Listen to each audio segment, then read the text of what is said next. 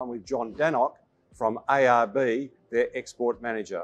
Welcome, John. This little segment I like to call G2 on the couch, albeit we're not on couches, of course. Yep, yep. So, John, we'll, we'll cut straight to it. This is your second trip here to Manila to find some talent, Yep. which we like to say to then connect with some great opportunities, great job opportunities. Yep. Um, you've, you've been through the process before, so we're not going to sort of talk to you about that. What we'd like to understand is that you, you came in in December last year, Yep. found 10 guys to take back to the business.